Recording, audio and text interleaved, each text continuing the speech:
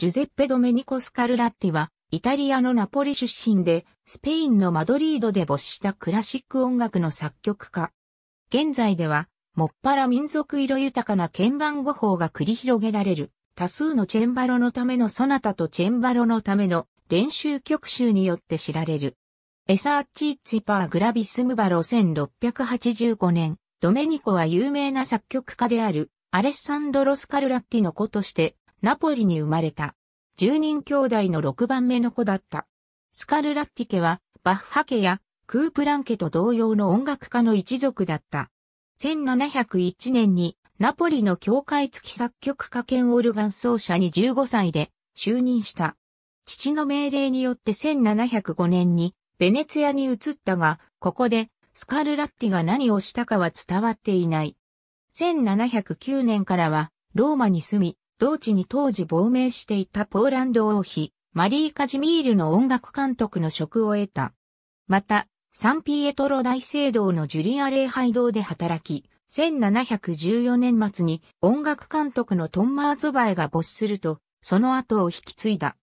スカルラッティとヘンデルは存命中から著名な存在になったために、1709年のローマで、ヘンデルとチェンバロ及びオルガンの腕前を競い合ったという逸話がいつの間にやら創作されるほどまでになった。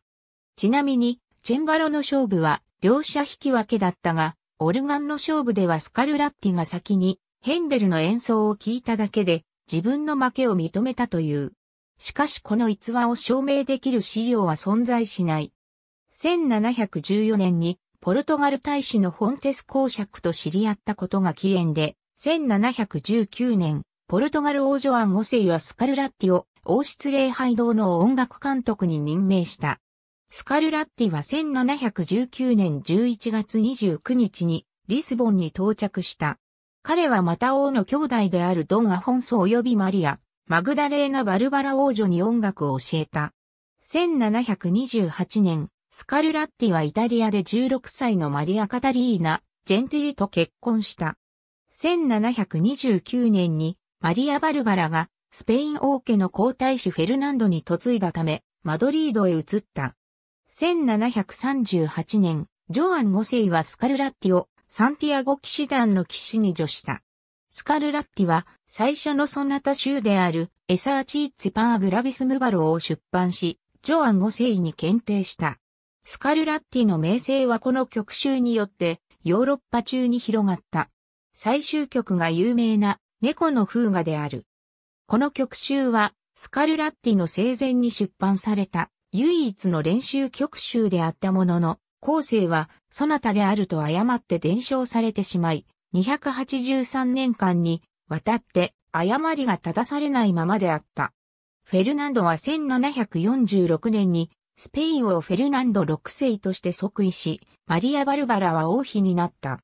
スペインの宮廷ではファリネッリを中心としてイタリアオペラが盛んになったが、スカルラッティはオペラの作曲には加わらなかった。1757年にマドリードで没した。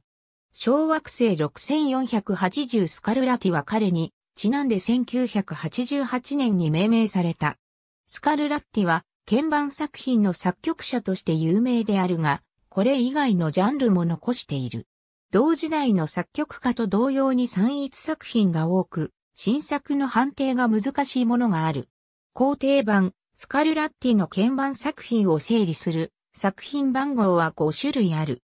19世紀に編纂したカール・ツェルニーによる番号、20世紀初頭にアレッサンドロ・ロンゴによって付けられたロンゴ番号、1953年のラルフ・カーク・パトリックの著書によるカーク・パトリック番号、1967年のジョルジョ・ペステッリの著書によるペステッリ番号、そして音楽学者で鍵盤楽器奏者のエミリア・ファディーニが付けたファディーニ番号である。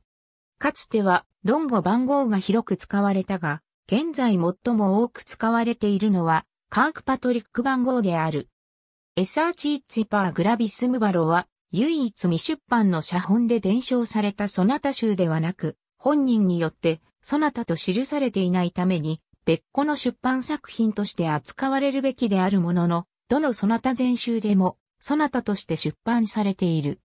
現時点でスカルラッティがどのくらいの鍵盤曲を完成させたのか、詳しいことは不明で、カーク・パトリックが新作と認めなかったソナタも、伝承の形で少なくとも15曲以上は残されている。1839年にカール・テルニーによってスカルラッティ作品が写本からようやく解放され再編纂された。20世紀初めに当時知られていたスカルラッティのソナタの全集がアレッサンドロ・ロンゴの皇帝によってリコルディ社から出版された。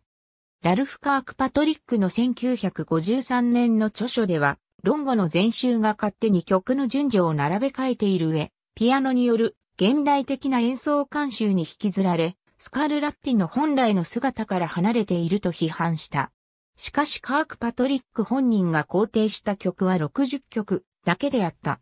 その後、ケネス・ギルバートがウジェル社より全鍵盤作品の肯定を発表した。ジョルジョ・ペステッリは559曲まで新作と断じている。